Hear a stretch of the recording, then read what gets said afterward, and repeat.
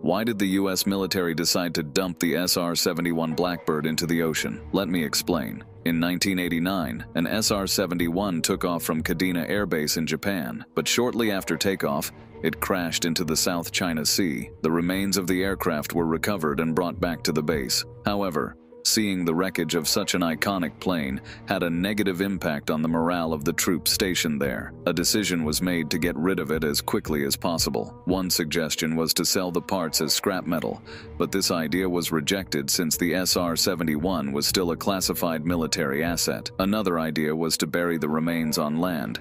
But the Pacific Air Forces also turned this down. That left only one option, a burial at sea. This required assistance from the U.S. Navy, but the Air Force initially refused to ask for help. Still, one determined officer took matters into her own hands and reached out to the Navy anyway. In the end, the wreckage was transported to the Pacific